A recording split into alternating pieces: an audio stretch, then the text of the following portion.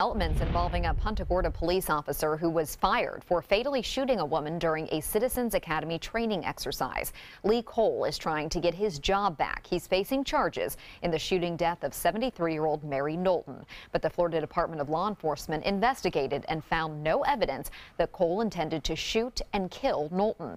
Still, he was terminated from the Punta Gorda Police Department. Attorneys representing Cole and the city human resources manager who recommended Cole's termination held a hearing today as he appeals the decision. If we're not going to take disciplinary action against anyone else, then why are we terminating his employment? Why aren't accommodations being made for him the way they are for other employees? That's the question. A decision from today's hearing is expected by the end of May. And tonight we have newly released surveillance video that shows the moment Officer Cole shot Mary Knowlton.